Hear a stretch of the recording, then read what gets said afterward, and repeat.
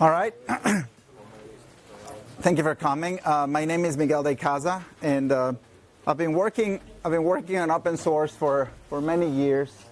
Um, I first started contributing to uh, the Linux and the GNU project in 1992, and uh, I, I tried. I built a company to build the open source software, and and we tried, and it was very rough. It was very difficult to to keep your friends employed with open source. So we built a proprietary company, uh, which led to a little bit of a disagreement with Richard Stallman. So he kicked me out of the foundation. And, uh, and then I went to build another company, which this time around I didn't try to do open source. Um, and, uh, and it was, uh, you know, we had a lot of fun in that company. We specialized on mobile, on Android and iOS development, Linux, Mono, uh, at an era where uh, Microsoft was not very well welcomed in the open source world. Uh, and then two things happened. Uh, they changed the CEO. Uh, we went from Steve Ballmer, which was a, uh, a, sales guy, very aggressive, very not very open to ideas about open source, and we went to Satya Nadella, who is a completely different person, uh, uh, a man that likes to read a lot of books and have his opinions challenged, and he decided to embrace open source and he decided to embrace uh, uh, free software. So uh, I was running this company with my friend Nat Friedman, and uh, Microsoft acquired us in 2016. And the first thing that Microsoft did is they turned our proprietary, very expensive proprietary products into open source products. Uh, so, it, I mean, to give an idea, each, a license per seat was $2,000, and we were selling them like hot pancakes, um, and uh, or hot waffles, as you would say here. and, uh, and the first thing that Satya and Scott Guthrie did is like, no, no, no, we're going to open source all this stuff. This is now public work. So, uh, so he, he uh, so ironically, it was Satya Nadella and Scott Guthrie that brought me back to the open source world after all these years. Anyways, uh, since, uh, since I've been working 1992 on Linux or Mac OS, I've always used this uh, have always used, I, I, probably have one running here right now. Let me see if I have one. Oh, the machine just rebooted, so you won't see it. Uh, but this is my file manager. It's a file manager that I started writing in 1992. It's called the Midnight Commander. Uh, it's still branded GNU Midnight Commander from when Richard liked me. And, uh, and uh, I spend my life in this thing. Usually I have dozens of instances of the, this file manager, uh, despite the fact that I that I started the GNOME project, that I use a Mac every day. Uh, I still spend most of my days in the Linux shell. This is my life. This is where I spend my life. Uh, this is where I do all my file operations, how I keep my life organized. Uh, and it's uh, done wonders. It is a clone of a DOS app. So this was a clone of a DOS app that I missed when Linux came on the market. And I said, I got to have this. I understand the Linux philosophy, but give me my shell. So I went and built this thing.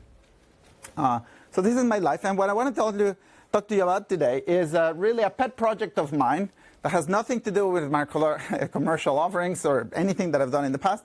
This is just my evening hack. It's the thing that I do on the afternoons. And I'm doing this talk because the person that was going to do this talk didn't show up.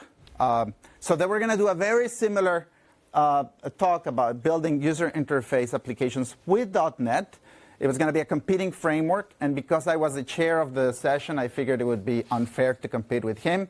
So I said, let's do this talk, but then he withdrew. So it's, uh, I think it's fair. Um, so this is uh, my with text user interfaces. This is the first machine that I started working on at the university uh, with my dad. It was a DEC uh, VT100. Uh, that was a keyboard with a detachable keyboard. It does the most beautiful scrolling you've ever seen. Now, most of you don't know. Well, I bet you none of you have seen one of those uh, or used one of those, so you don't appreciate what this beautiful smooth scrolling is. But today, uh, the same technology that powers that thing, an evolution of this set of escape sequences and the way you communicate with the terminal, is what is used on, on consoles on Windows, Mac, and Linux. Uh, and I'm still very much in love with that, and I still use this tool every day. So I decided to build a UI toolkit that would let me build applications uh, for the console. And it is relatively painful. I'm, I'm shortening this talk. It's a much longer talk, but it's very painful to build this desktop application, these console applications on Linux because uh, you need to learn a lot about curses, about input, about Xterm consoles, uh, the Windows console. If you want to build something that works across the board, it's relatively annoying to do and get it right. And there's complications in terms of colors and mouse support. Um, so uh, one day I decided that uh, I had it and I wanted to build something for me. So this is a project that I built just for me. Now this UI that you see this there is implemented with this code, with this C-sharp code. Um, and uh, it leverages some of the idioms that are common in C-sharp, like for example, this nested creation of objects, uh, these lambda functions that attached an action to a menu. For example, when you press the quit menu, it invokes this function, right? So this is a full if statement there. Um, and, uh, and that's the UI that you get for that. Uh, so I'm going to tell you a, bit, a, little bit about how this works. So what you need to know, what you need to remember um, is that uh, for the past almost 10, 10, years, oh my God, almost 10 years. For the past 10 years, I've been working mostly on bringing .NET to Android and iOS. So my view of what a UI toolkit should be has been influenced by iOS and Android extensively. And uh, you don't know this. You don't know this. Um, we're going to get this fixed eventually. Um, you don't know this, but one of the original uh, window managers by, that's by used by the GNOME desktop when we launched. Who here is old enough? Who was born before 1990? All right, so, okay. So when we launched this thing, we launched this in 1999. Okay, who was 15 in 1999? At least, oh, a couple, all right. So when we launched GNOME, we launched with this window manager. It was a, a, fabulous window manager, super configurable. It was written in a variation of Lisp. It was called Sawfish. and this window manager was built by none other than uh, uh, that I forget uh, uh Harper. And he went to build the core animation framework that powers every iPhone.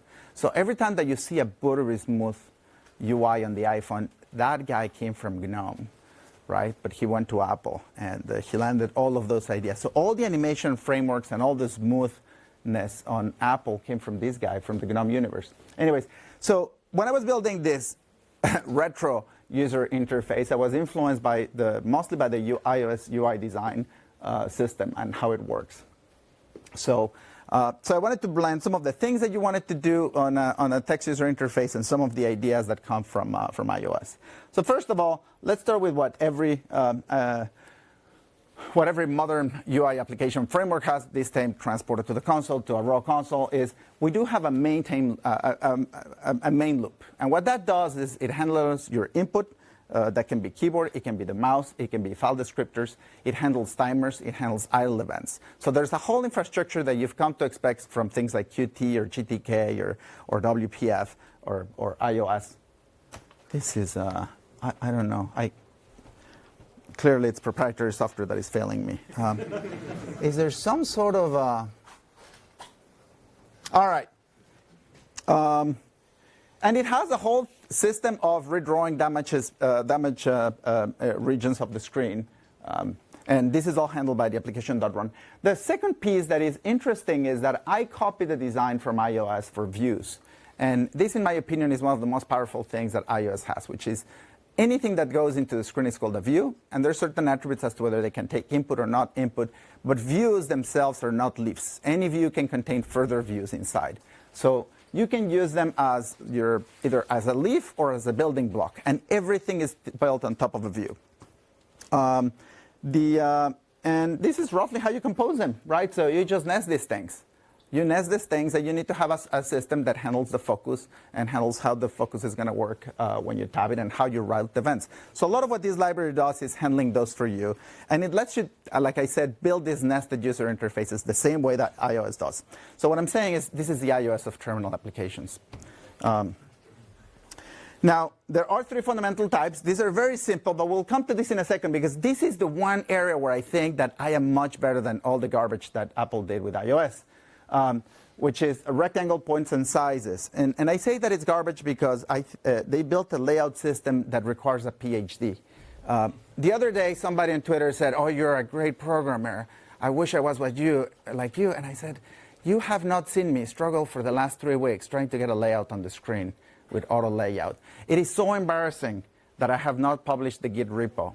I've kept it secret because I can't get this thing to work. So it's probably going to take me another week and then I'll publish it, but it's been a world of misery. So, um, so this is the layout system for people like me, people in their 40s that they can't really do these things anymore. Life is too short. So we have two sets of layout positioning. The first one is you say, I want you to be from 0, 0 to 10, 10. That's what it is. No questions asked. And off you go.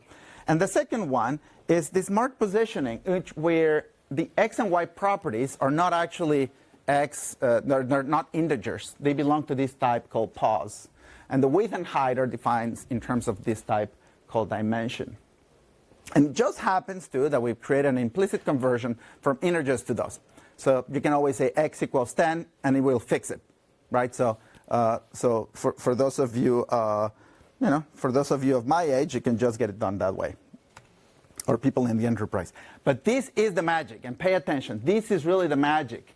There are a couple of operations here. You can create these pos objects with a number of, of things, like, for example, pause with the percent method. These are all static methods. God damn it. Um, these are all static methods. So you can say, I want a percentage. So you say pos.percent 10, and it will give you a position that will be 10% of the container, right? Anchor n means I want this position to be attached to the end of my container with this much buffer space, the margin there, which is a default option. I want this to be centered. And this is centered compared to my container, right? Remember, every view is nested. So this is always uh, compared to the previous one. Uh, this is the implicit operation that I mentioned. You can also operate on this thing. So you can, you, you can take a position, it's 10% plus 10 units plus uh, center. So you can say center plus 10% plus 5 units, for example. So you can add these up and you can subtract those up. Uh, you can also use this anchor point, so you can say the positions to the left, to the right, and then add offsets to them uh, if you want to. Or you can have positions that are relative to other views. So you can say this is a position that needs to be anchored to this other view. So I don't know where you're putting the other view on the screen. Just make me relative to that, either to the left, to the right, center, whatever, right? So um, and the same thing goes for dimensions. It doesn't have as many operations, but again, you can describe operations in terms of I want you to fill up all the available space, right? Or be a percentage of the space. And the same thing, these two important ones, uh, and again, uh, you get these combination operators. And I think it's probably one of the best ideas that I've had in many, many years. Um, and this is what it looks like. So a UI doing a login password and a couple of other things, you can say that you can see that first I started to I, I, said I want to center this piece in the in the x dimension on the screen, right? And the y I fixed it.